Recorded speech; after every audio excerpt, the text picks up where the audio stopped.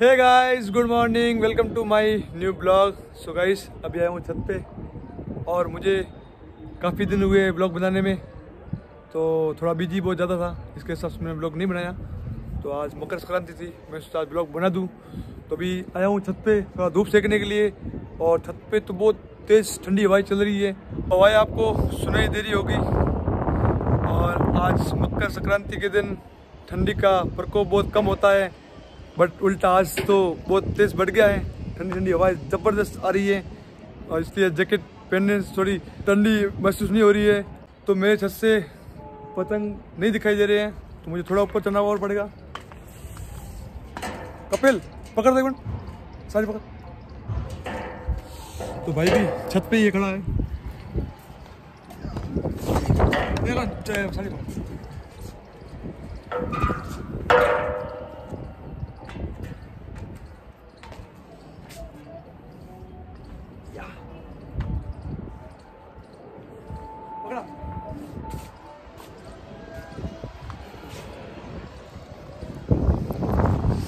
तो गाइस बहुत ऊपर आ गया हूँ। यहाँ पे तो उल्टा बहुत तेज हवा आ रही है और इससे आवाज़ भी आपको कम आ रही होगी। और अभी ट्रेन भी आ गई है मेरे घर के पीछे।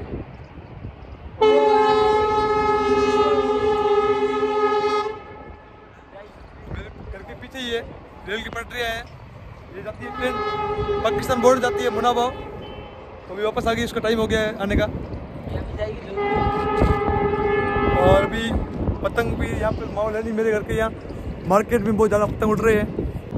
तो देख लीजिए आप, पूरी ये मार्केट का व्यू है। वो है गढ़ मंदिर, जो आपको दिखाई दे रहा है। और वो है, दिखाई दे रहा है कि आपको नहीं दिखाई दे रहा? वो है सूर्येश्वर। वहाँ पे भी जाना है मुझे? कभी गए नहीं मैं?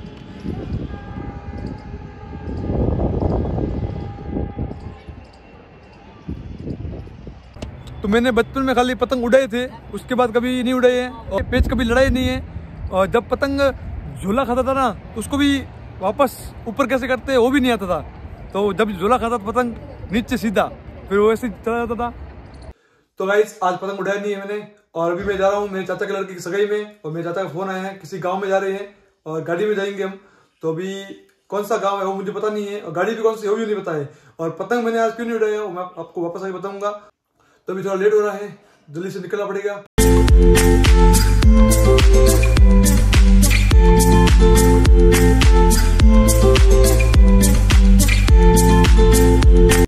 गाइस तो अभी हम तूफ़ान में आए हैं और एक तूफ़ान ये है, एक तूफ़ान वो है और हमारे सब चाचा और ताऊ जी सब वो जा रहे हैं सब अभी।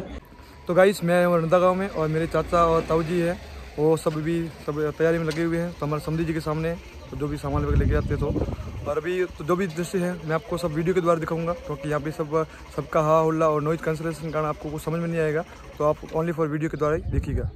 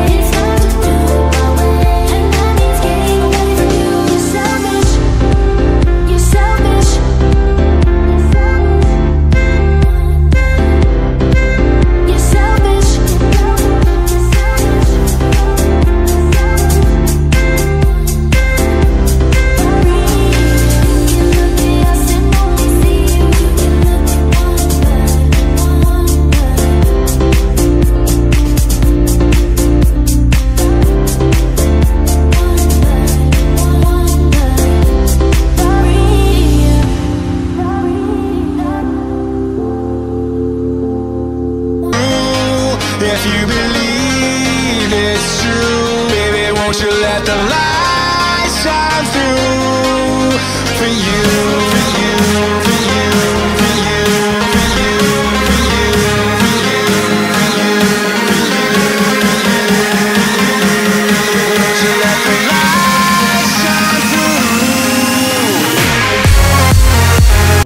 तो गाइस फाइनली घर पे आ चुका हूँ और आज मेरे चाचा लड़के की जो आज एंगेजमेंट हुई थी उनकी तो आज गाँव के रीति रिवाज से बहुत शानदार तरीके से हुई है।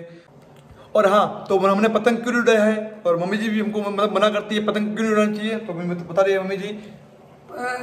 ये पतंग उड़ा दो पक्ष- पक्षी भेजा मैंने कहे पाप है ये गाने का बोल नहीं उड़ानो।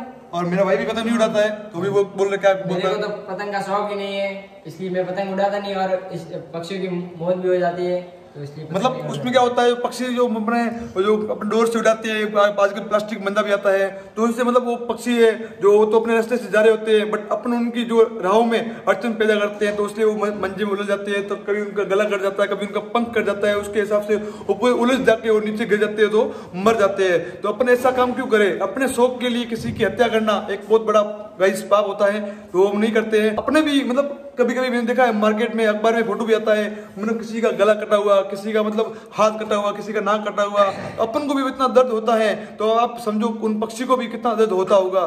तो गाइस, अपने शौक के लिए किसी की हत्या करना, ये बहुत बड़ा पाप है। सर का हिस्सा है, अपने लाइफ का हिस्सा है। तो अपन को उनका ख्याल रखना चाहिए गाइस। तो आप उनका ख्याल रखिए, उनको आने से बचाइए, उनको, उनका मतलब कभी भी कहीं उलझे हुए हो तो उनको भी आप मतलब उनका इलाज भी करिए, उनको हॉस्पिटल तक भी पहुंचाइए। तो मतलब उनका गाइस बहुत ख्याल रखना क्योंकि वो मुख प्राणी होते हैं। वो कभी अपन उनको ऐसे नहीं बताएँगे कि मुझे यहाँ पे दर्द हो रहा है। तो फ़िलहाल इस ब्लॉग को मैं यही एंड कर रहा हूँ। सो आई होप आपको ये ब्लॉग पसंद आया होगा।